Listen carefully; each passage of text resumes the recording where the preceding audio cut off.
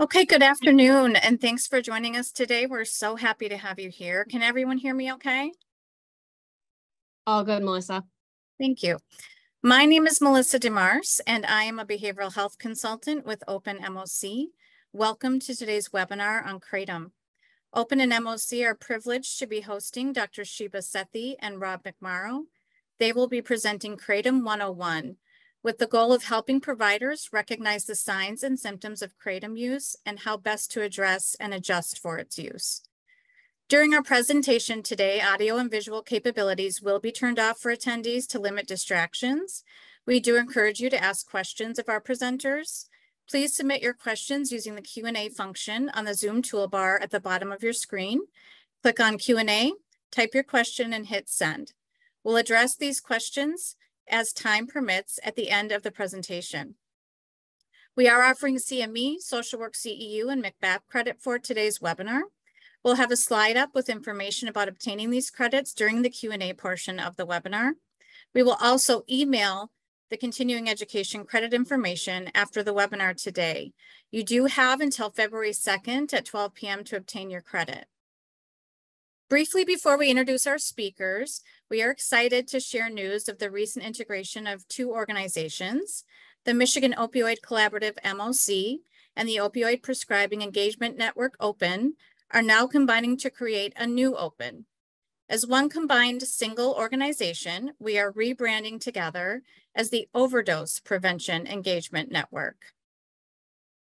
For those who may be familiar with only one or neither of our groups, we have each separately been successful in addressing opioid stewardship and substance use disorders across the state.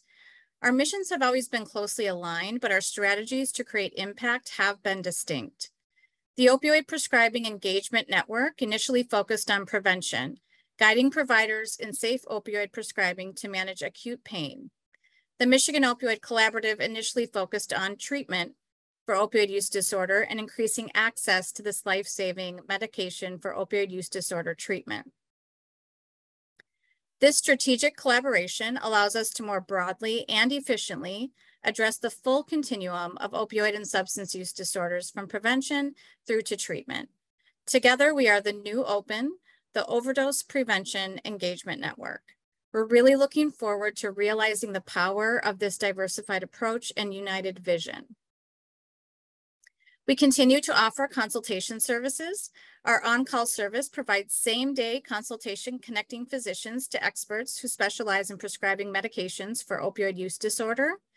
They can answer both individual treatment and technical assistance questions.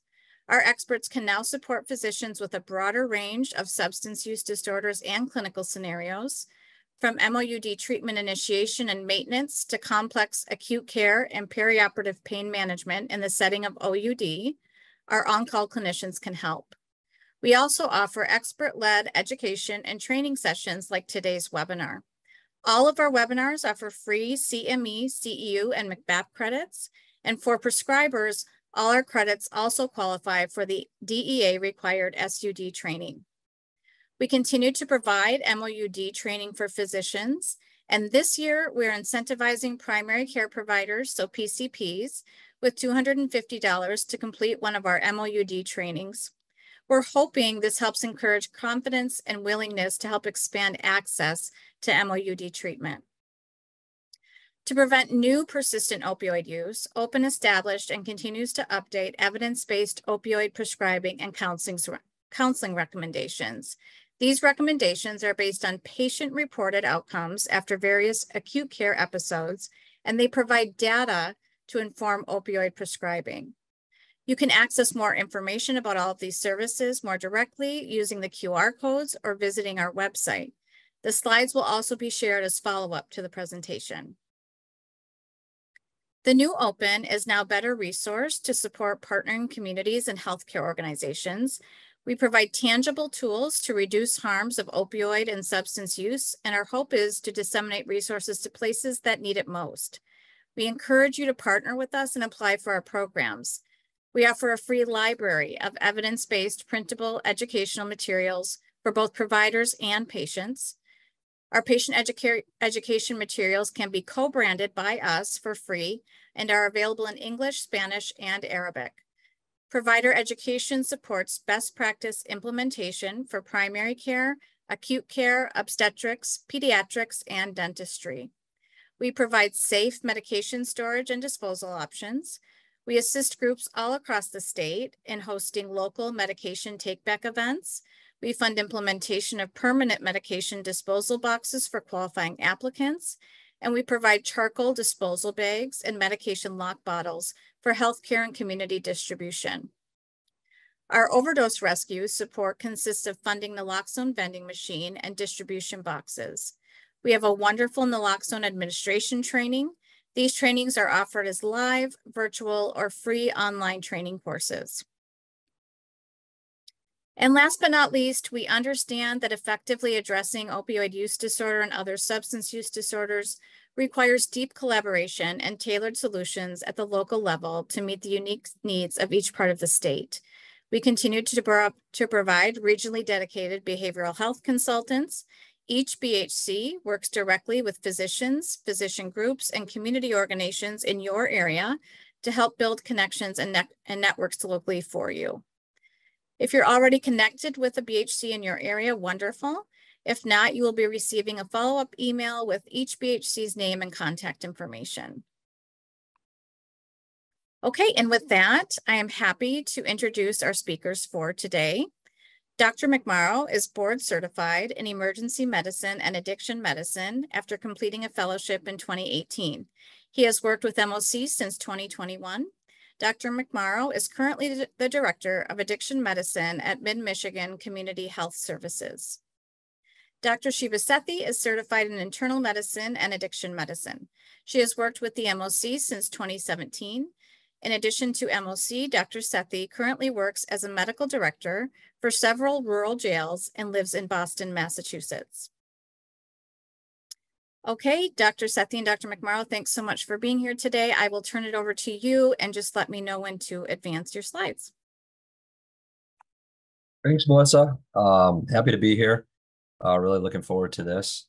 Um, next slide, please. So um, we don't have anything to disclose. And just a caveat, we will be discussing off-label use of uh, buprenorphine in cases uh, to treat uh, kratom uh, use disorder, not an official diagnosis, but uh, one off from opioid use disorder. Next slide, please. So I like to start a lot of uh, kind of lectures with a case. Uh, this was a specific case that I had um, in my clinic about three years ago. Um, I received a call from a collaborating psychiatrist who was looking to get a patient in who had co-occurring alcohol use disorder as well as opioid use disorder. Um, and they wanted to know, because they couldn't carry Vivitrol, if we can get him in today and give him a shot of Vivitrol. So then he showed up in the office and this is kind of a, a case that we'll go through throughout the lecture that kind of gives some uh, context to Kratom. So this is Dan, we'll call him. He's a 29 year old man referred to psychiatry for a Vivitrol injection. He had a past medical history of depression, anxiety, alcohol use disorder, opioid use disorder, in sustained remission from the psychiatrist and nicotine use disorder. His uh, alcohol history started um, when he was about 15 and progressed to early 20s. Uh, he was drinking up to a fifth a day and he stopped drinking completely in his mid 20s. He relapsed two years ago and received a DWI in the same day. So this is pretty typical uh, patients that we have. Next slide, please. Um, when he came in, um, I got a, a, more detailed history of his opioid uh, use. Uh, he started uh, Norco pills at 14, progressed to IV heroin by early 20s. Uh, again, this is pretty typical. Um, and then he told me something that he forgot or didn't really bring up because I asked him um, if he took any other supplements, and he said he's been, quote, stable on Kratom for two years with an occasional opioid use. Um, so, you know, he didn't let his psychiatrist know that. And um, this was the first time I was hearing it. Um, he said his kratom use has escalated and seems to wear off quicker over the past two years. He said he takes around 18 to 20 grams uh, daily, which is about 18 to 10 pills he was buying offline, uh, five to six times a day. And progressively over the past couple months, he had to take it more frequently. Uh, he can't go more than eight to 12 hours without kratom use uh, due to feeling pretty bad.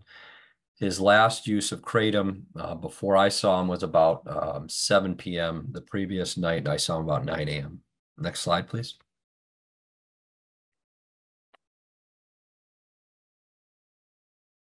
He was on clonazepam, uh, half a milligram PRN once daily, some uh, bupropion, uh, sertraline, hydroxyzine as needed.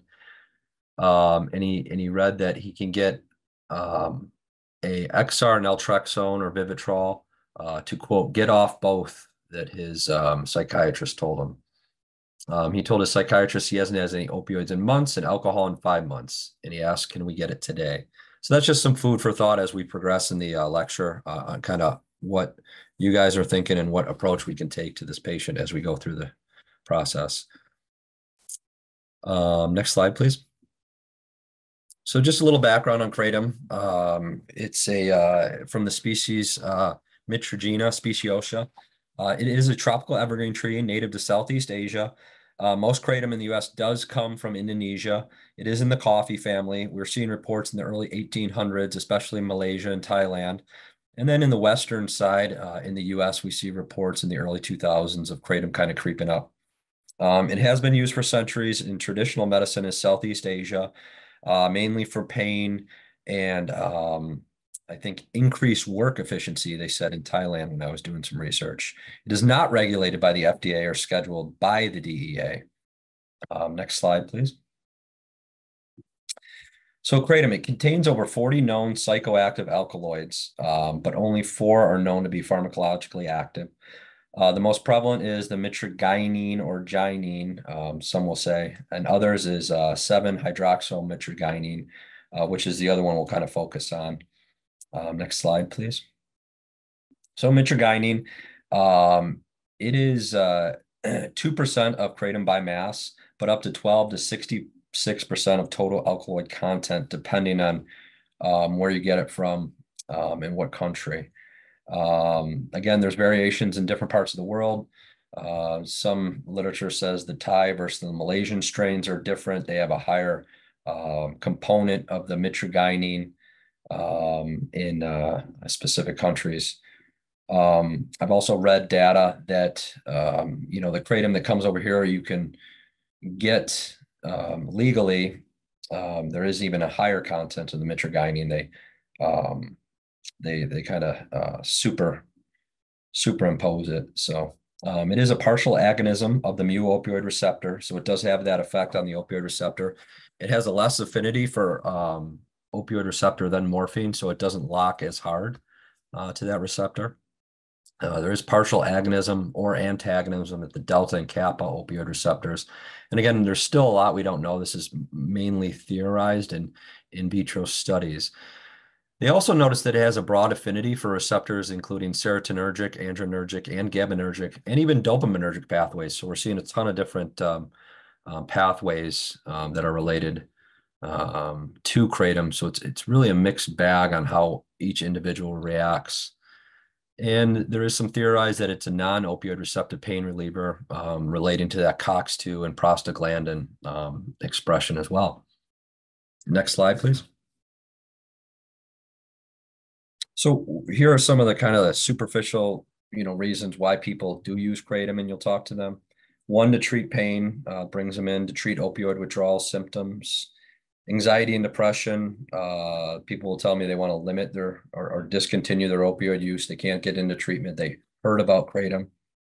Uh, boost concentration. There is some theorized evidence, um, anecdotally, that uh, in lower concentrations, it used as more of a stimulant and to experience euphoria, a lot of synergistic effects with other um, drugs and, and substances that patients will feel, you know, in a combined effect that'll that'll uh, uh, you know help that effect. So, next slide.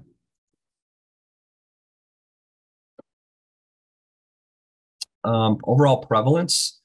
So there's not a lot of data on it. Most of this data comes from, you know, kind of self-reported uh, um, studies or uh, surveys. Um, National Survey of Drug Use and Health in 2019, about you know 0.7 to 1% of US adults tried kratom in 2019. They did another one in 2020.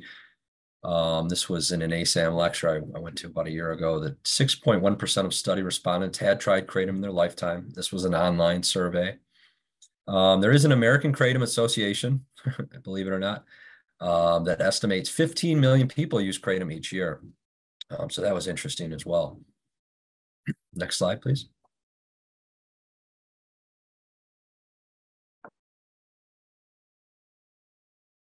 So who is uh, using Kratom? Um, so the data on Kratom consumption is, pr again, primary from self-report uh, surveys. Um, most commonly, we see it in people with an underlying history of opioid use disorder or substance use disorder. Um, it, there was a, a strong association between vape nicotine and cannabis use and kratom use. So we see that kind of uh, polysubstance use uh, kind of progress as well. Um, one study did find that kratom was less likely among those prescribed buprenorphine in the past year. Uh, so there is some anecdotal evidence about uh, using buprenorphine as kind of a one-off with a co-occurring opioid use disorder. Um, so that's that's good. Next slide, please. Um, and I think I'm going to take over for here, but I wanted to ask Rob, do you find that most of your patients that use kratom are on buprenorphine? Or do you think that that that's like that um, previous slide, your patients are similar polysubstance use?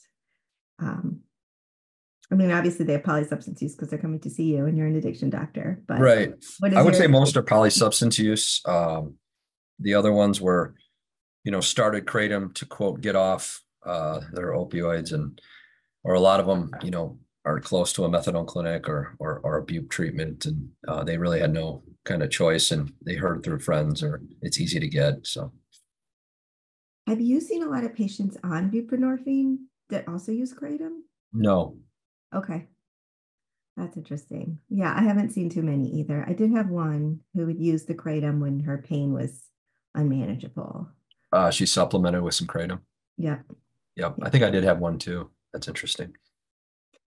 Um, so uh, all of you submitted some really excellent questions. Thank you so much for that. And one question that we got was, is Kratom legal? And so I found this map and I couldn't find a date stamp on it to, to help us know how um, up to date it is. But from my, you know, spot checks, it does seem to be fairly accurate. And so on this map, green is uh, the green states all are all where kratom is legal. And so you can see kratom is legal in Michigan. The orange states have some local bans or regulations. The red states and the red dots are states and cities where kratom is banned or illegal. And the blue states um, have adopted the Kratom Consumer Protection Act bill, which was a federal bill introduced in the Senate in this past October, October 2023. And the bill is requiring that the FDA hold a hearing and establish a task force on the health and safety of products with kratom. So I think the bill is encouraging um, more regulation of kratom. Next slide, please.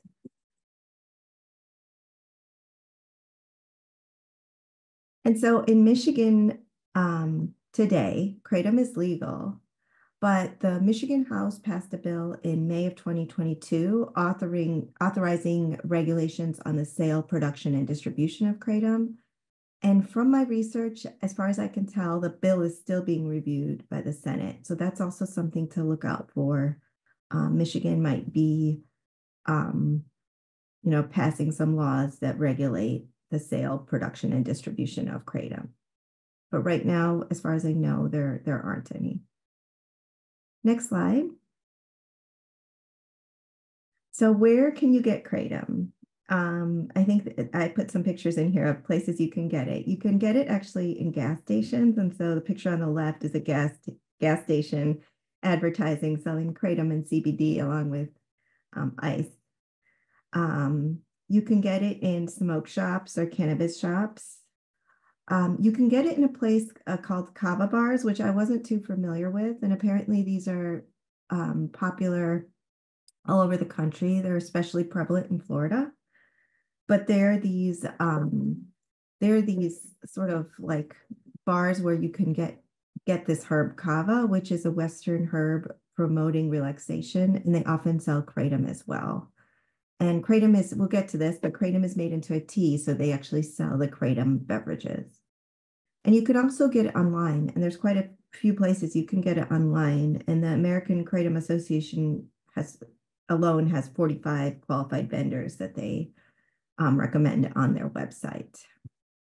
And I don't, you know, I, ca I can't really verify this, but uh, doing the research for this presentation, I read that it's a $1.5 billion billion with a B dollar industry. Um, so again, I'm I I don't know if that's true or not, but that's quite an impressive number. Next slide.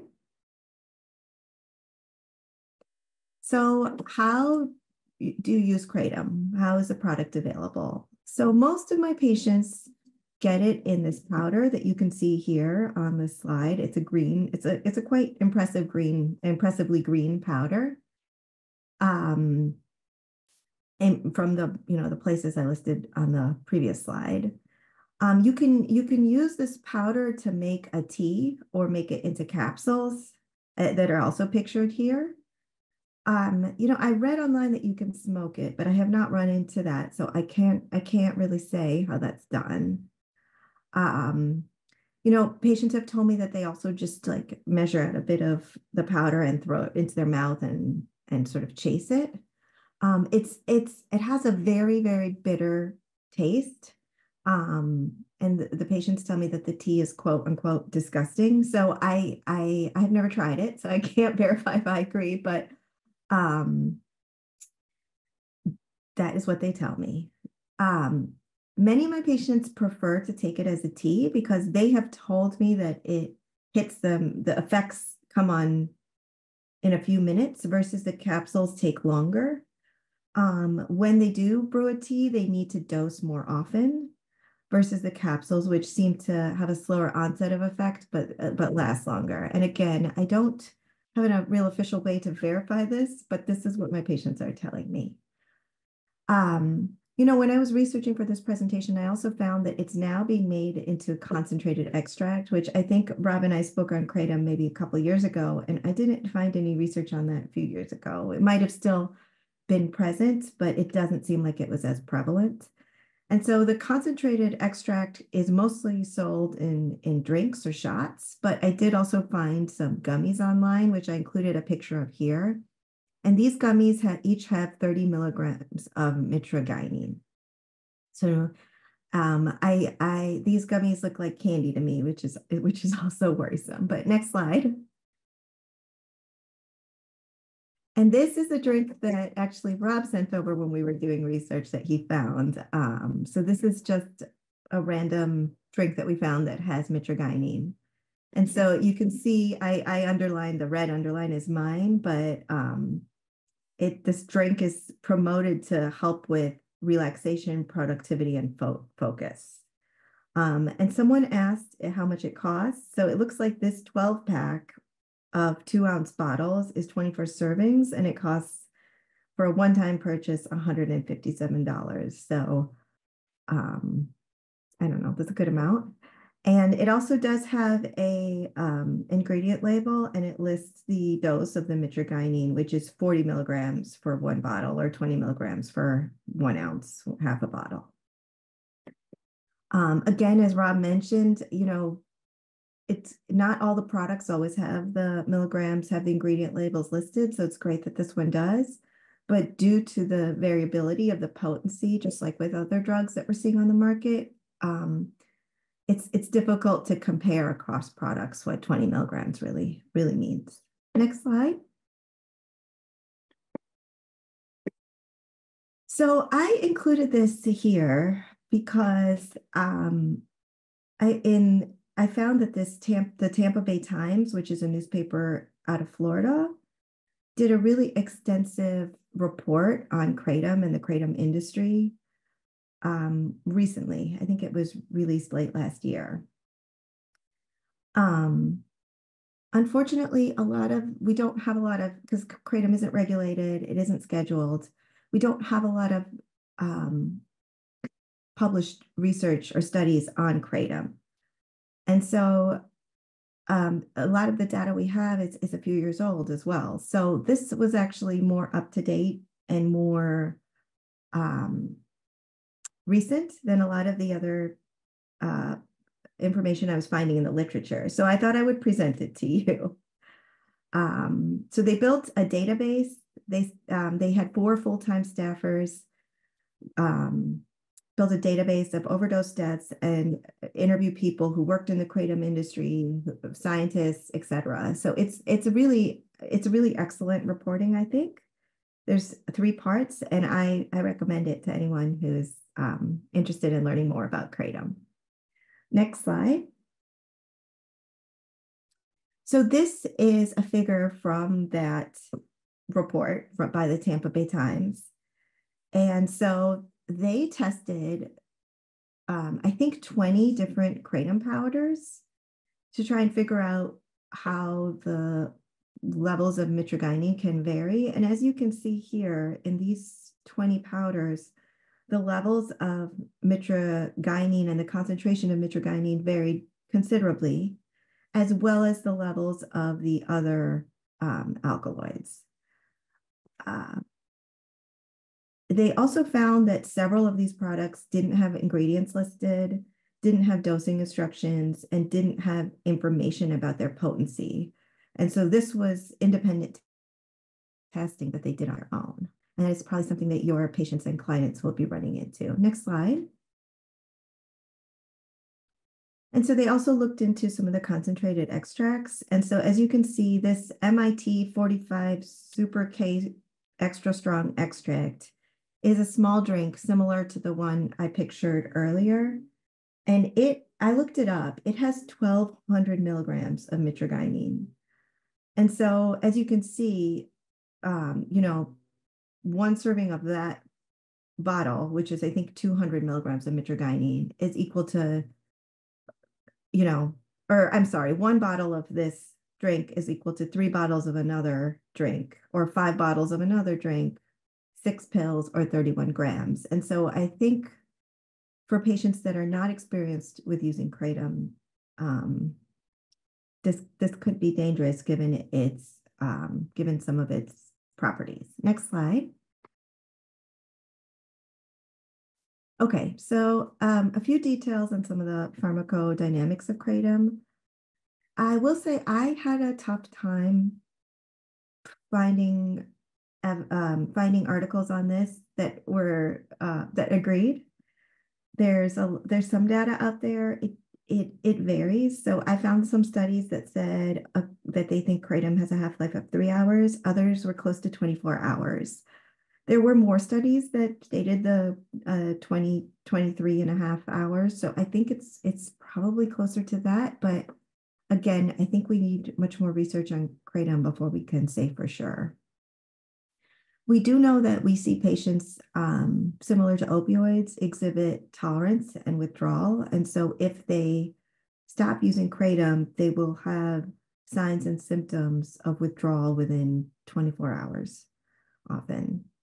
And kratom is metabolized um, via the liver, hepatic metabolism, and it uses several cytochrome P450 isoenzyme uh, isoforms, which will be relevant later when we when we when we talk about medication interaction. Next slide. Thank you. So I found this really nice figure in a review article looking at the some of the neurologic um, adverse effects of kratom. And so this is the dose-dependent effects and receptor targets of different doses of kratom. So at lower doses of kratom, um, kratom is said to act more like a stimulant. And this is via antagonism of the serotonin and alpha adrenergic receptors. At higher doses, it's said to act more like an opioid, and this is through agonism of the mu and um, the mu opioid receptors. I would say more mu opioid receptors because those are where we see the clinical effects of um, of opioids. So, and then this this slide says at a, a greater than 15 grams, you can experience sedation. But I will say, I think that you know, given that patients develop tolerance to kratom quickly, your patient might experience different symptoms at different doses. Also, we know that, um, or we think that most patients that are using kratom, especially using kratom regularly, have a history of opioid and or some other substance use disorders. And so they might have a higher tolerance at baseline. And so I would take these numbers with a, I, I would take these numbers as a suggestion, but talk to your patients about how much they're using or how much they think they're using.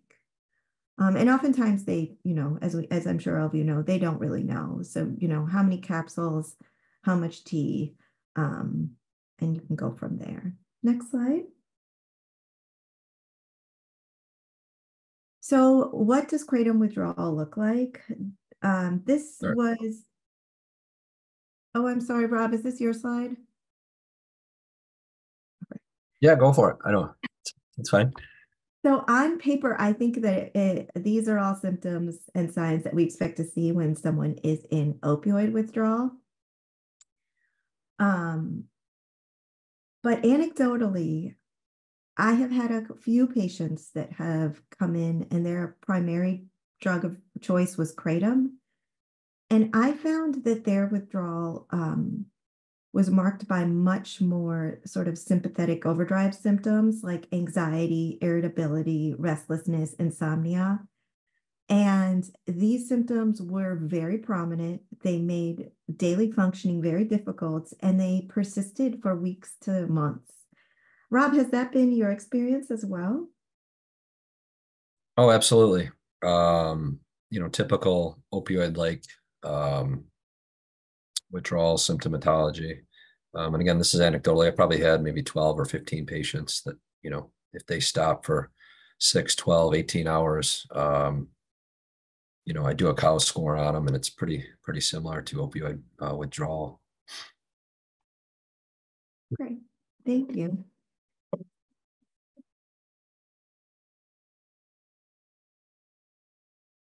And I think next slide, and I think this is, I think Rob is taking over now. Thank you.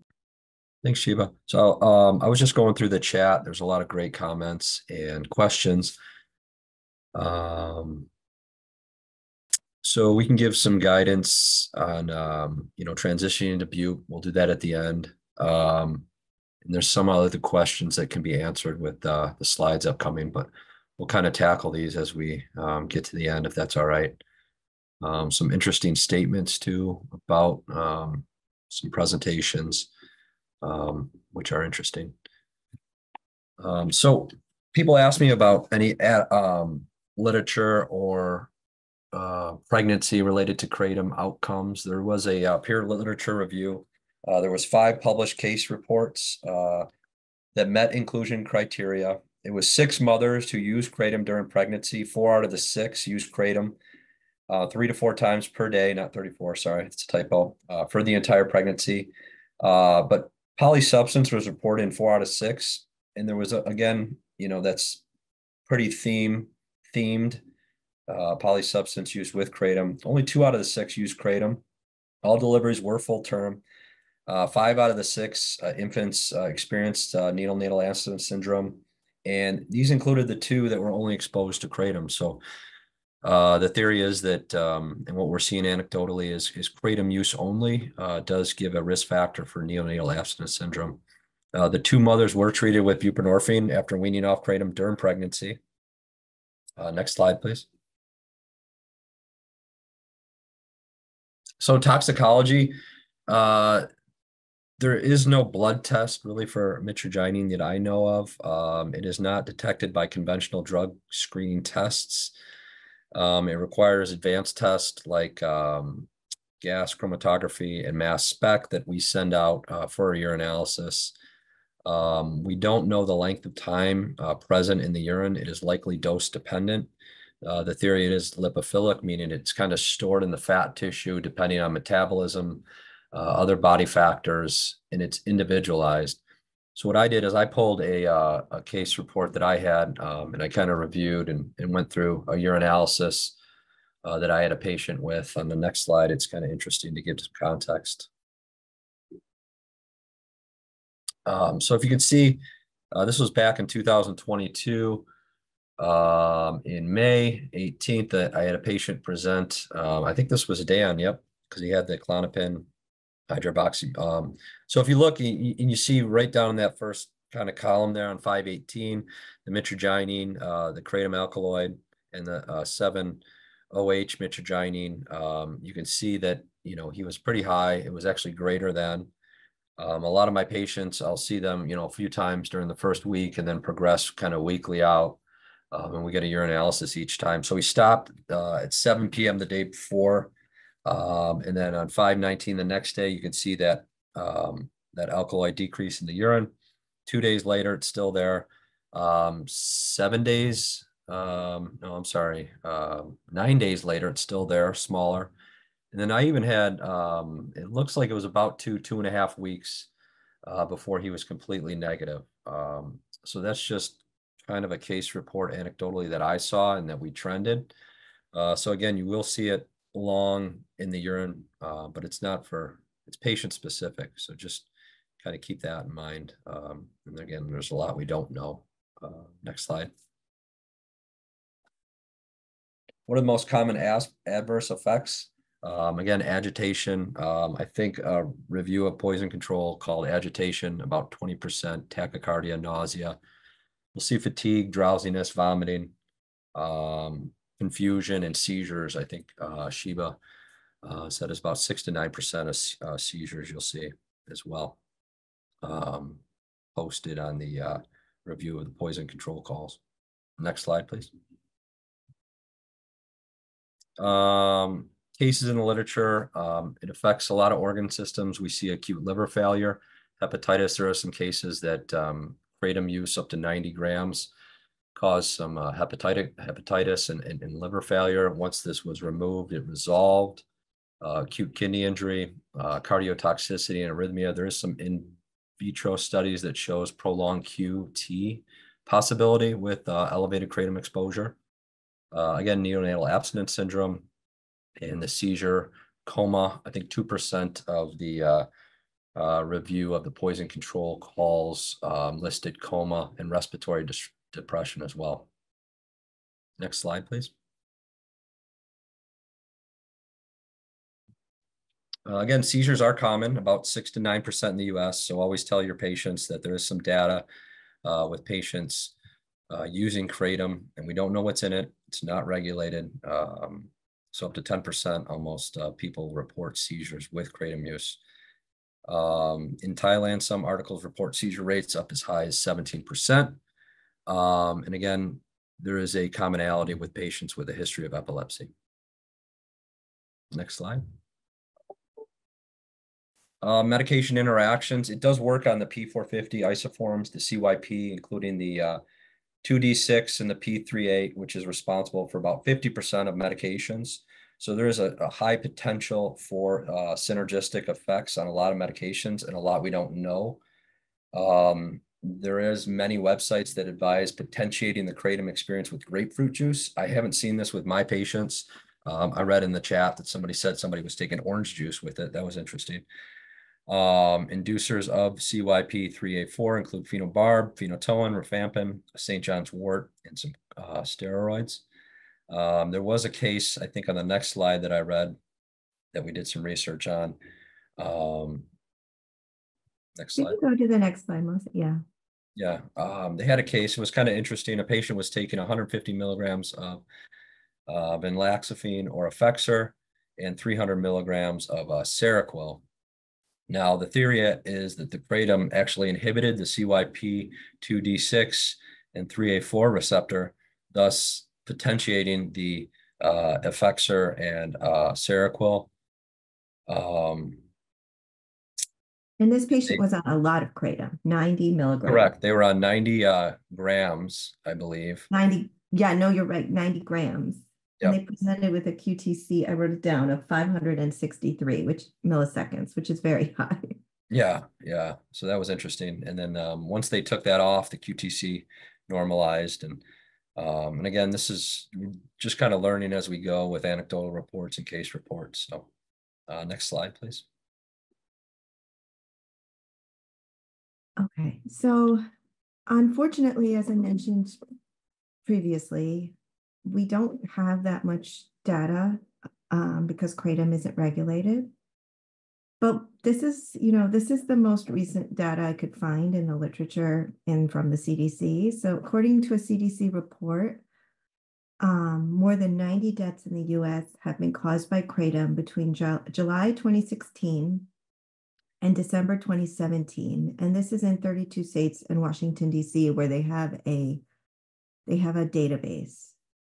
And they identified only seven of those cases as kratom only. Um, there was also a New England Journal of Medicine correspondence in 2019 where Colorado researchers retested postmortem toxicology samples from four kratom only deaths, and three of the four cases contained multiple drugs. And the fourth case was not tested due to an, an insufficient sample. And I, I think what the problem with with the um in many places is I'm not sure that mitragynine is regularly tested. I don't know, but I would imagine that that might be the case and lead to underreporting. Um, next slide. I also wanted to present the data from the Tampa Bay, uh, um, I think Tampa Bay Times uh, newspaper because I thought, again, it was well done. And so if Florida required testing for mitragynine in 2020. Um, and, and so in this report, um, what the, Tampa Bay did is, is starting from to 2010, they requested all autopsy records from drug overdoses. And they excluded any that were ruled a suicide. They also excluded any cases that had issues with toxicology testing. And I'm not sure what they mean by issues. Um, and so this is the data that that they were left they were left with. Um, so they so the in this graph, the the y-axis is number of overdoses, which the top line is 600, and the x-axis is the year. And so, uh, you know, the the black triangle is kratom overdose deaths only through June 2022. And the area, the area that's green is all overdose deaths involving kratom through June of 2022. And so you can see they found 46 only kratom overdose deaths in this time frame that they were examining. And that's that's significantly higher than I think the two prior, you know, um, the CDC case report and the correspondence from the New England Journal of Medicine would suggest. Um, you know, I worry that with the rise of concentrated products um, and it being touted more as relaxation that, people might not know what they're using. I think what's also interesting on this on this graph is um, it seems like the kratom overdoses really started to rise in 2016. And 2016 was also the year that the CDC um, pain guidelines came out.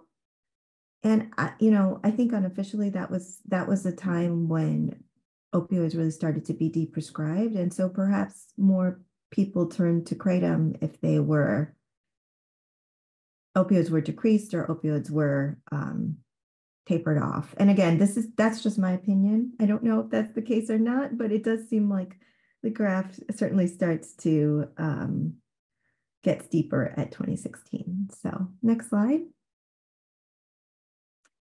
Um, this is again from the Tampa Bay investigation, but they they did have this nice graphic on who was overdosing from kratom in Florida. And so this is all Florida only data. I should have said that before, but um, it said that among all all the kratom overdose victims, so not just the patients for kratom only, all all of everyone represented on that previous um, slides graph. 94% were white, 79% were male, and 96% had a substance in their body that may be harmful when mixed with kratom. And again, it wasn't clear, but I think they are referring to some sort of medication or supplement that might have a reaction with kratom that had a drug interaction. 83% used an opioid that contributed to their overdose. And they also said that the majority of these patients um, had a history of drug use. Um, and you know, I don't know how the demographics of Florida compare compared to Michigan. I do know that Florida has about 20 million, a population of 20 million, and we have a population of 10 million. I don't I don't know if I would imagine that Florida probably skews older, but I, I don't know if I could guess anything else. So I don't know if this this data would really be applicable to Michigan, but again, um, there's not that much data out there. And so I wanted to share this with you. Next slide. So if someone is having a kratom overdose, can we use naloxone? And the short answer is probably yes. We have one case report showing successful resuscitation um, with naloxone. So I would recommend that you prescribe naloxone to any patient that tells you that they are using kratom. Next slide. Treatment. Okay, so there is no official kratom use disorder per ICD-10. Use this F19.99 code, other psychoactive substance use disorder. But I would say approach treatment as you would other substance use disorders, particularly probably opioid use disorder. Many patients that come to me that are using kratom tell me it's because they don't, and Rob already mentioned this, don't have access to methadone. They don't have access to buprenorphine. They don't have access to other treatment. And many of them are using kratom for the same reasons that we prescribe buprenorphine, you know, trying to minimize symptoms of withdrawal, minimize craving, avoid fentanyl use. Um, and so we also got this really excellent question. Is there any way of correlating the amount of kratom with the buprenorphine dose? And just like other opioids, unfortunately, no. And so I would say you should just treat the patient using kratom similarly to um, a patient that comes in and is using opioids. Um, I, I, will say many of my patients that have been using kratom and using significant amounts of kratom have had an opioid use disorder, and so that can also skew um, skew the dose. Um, and again, I mentioned that the anxiety the symptoms of anxiety are really prominent. And so for patients that are using primarily kratom and minimal amounts of other opioids, I have really had to treat them with clonidine, hydroxyzine, and then I found a case study mentioning labetalol, which I have not used. Um, I am partial to clonidine because we use that during my training, but if the patient has done well with hydroxyzine, I think that's valid as well. Um, I usually start this at the time of buprenorphine initiation, and I have had patients that have never been able to to stop the clonidine, albeit at a lower dose. Um, and so I find that that's those those adjunctive meds are really helpful with the um, the kratom initiations. Next slide. And then, you know, I know Robin, I have mentioned how there's really a paucity of um, studies, and I found this in my research. So I think this is great, you know um, it does look like there's an open funding opportunity for looking more into the addictive um, aspects of kratom. Next slide. Thanks, Eva. So just to follow up uh, on our initial patient, uh, when he did come in, we discussed treatment options, including uh, XR, naltrexone, uh, buprenorphine, methadone for OUD, acamprosate for AUD. So we decided to start on bupe and acamprosate with his history of alcohol use disorder as well as opioid use disorder. So we initiated buprenorphine. Again, he was around 18 to 20 grams. Last use was about uh, 12 to 14 hours prior to coming in the office. Uh, so we decided, you know, it was kind of a, there's no real, um, you know, protocol out there. I know that was one of the questions. Um, so we waited about 24 hours uh, after 24 hours, he did have a cow score. I think it was between 12 and 14. Next slide, please. Um, and we ramped him up uh, over that last, uh, that first week uh, to 20 uh, milligrams of bupe. Um, he said the next week after that, he felt, quote, normal for the first time in two years. Uh, he was ecstatic to be off the kratom. Um, and he now he's tapering off the, the Klonopin and he feels actually the kratom worsened his anxiety uh, due to uh, increasing uh, withdrawal symptoms so frequently. And again, this is what I see often uh, with my patients that tell me, you know, they have to ramp up, ramp up, ramp up frequency and um, uh, amount as well. Next slide, please. So a couple takeaways, always ask about kratom use. The last data uh, or lecture I went to at ASAM, uh, the survey showed about 40% of people that are using kratom won't even tell their primary docs. Um, you know, they don't view it as a substance or any harm. Uh, so always ask about kratom. We implemented, um, you know, that questionnaire in our office specifically for kratom, even when we're screening now. Uh, they won't disclose it. They don't consider it a drug or any harm. Um, and always be careful to screen for kratom use before giving uh, Vivitrol because that could potentiate a precipitated withdrawal. Um, in theory, um, and again, wait seven days uh, if you're going to give the Vivitrol um, that we decided. Uh, but again, he did well in the BUP and, and now he's doing tremendous. So that's just one case. Um, next slide. And now we'll go through questions. Thank you both so much. Um, really appreciate this information. It's fantastic. I am going to, um, before we start with questions, have this CME slide up. So if you want to click on the QR, QR code or uh, click on the links below the QR codes, you can um, obtain your credits. Again, this will also be emailed to you uh, after the webinar. I know we're nearing the end and we have a lot of questions. So Dr. McMorrow and Dr. Sethi have been looking at the questions and they are going to just go through and answer as many as they can.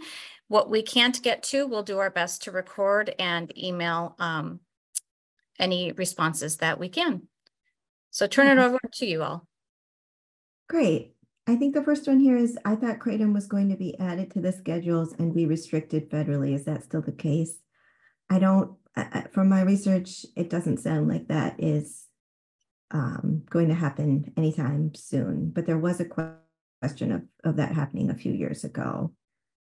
Um, is the use of kratom higher in those who are trying to get off alcohol? I don't know the answer to that. Do you have any thoughts about that question, Rob?